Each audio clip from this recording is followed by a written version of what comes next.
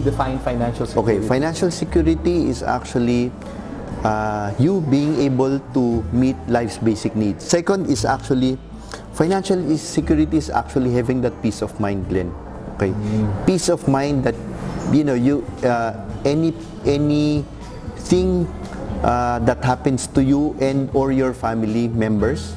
Okay, Ano man ang mangyari, eh, safe kayo. you're not worried about any emergency okay uh, mm, uh, if you are asking me to define emergencies it might be a medical emergency Okay. okay?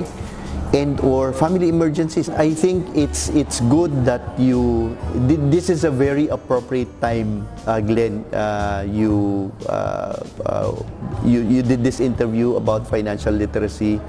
Uh, mainly because we're in the we're in this time of the year na we're going into the uh, Christmas Christmas season, di ba?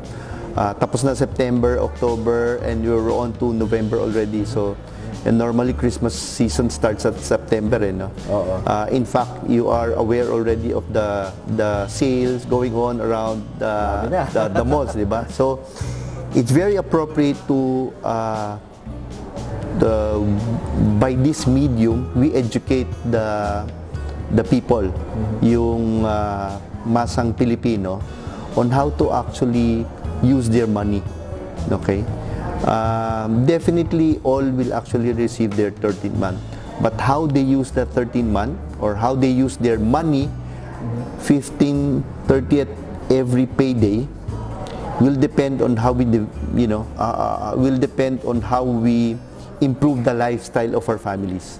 Pray, okay? I hope and pray that you also do your part in in ano in uh, community development. Lalo na you, you you came from. I always believe, Glenn. Um, everything happens for a reason.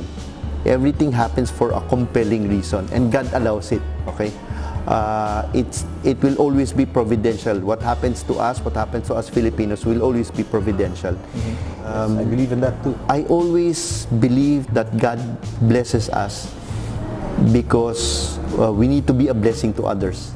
Okay, so pay it forward. Okay, whatever blessing that comes to you, okay, you have to. Um, uh, again, the, I am remembered uh, of the parable of the talents, di ba? You are you, you need to actually use uh, whatever talents, whatever blessings that you, uh, you that you receive, and share it with uh, the the share with the rest to be able to you know uh, uh, be a blessing. All right, and, and, and so on, on that note, uh, I'd like to thank you, uh, Mr. Jerome Nava, our guest uh, this afternoon. Thank you, uh, for sharing your talents with us and helping uh, the Philippines News with our mission to educate uh, the Filipinos Right. uh, with everything uh, about business, uh, about lifestyle, you know, uh, about uh, uh, being able to save and, and have financial intelligence. you know. And we're also talking to the OFWs out there uh, who are actually grinding it out.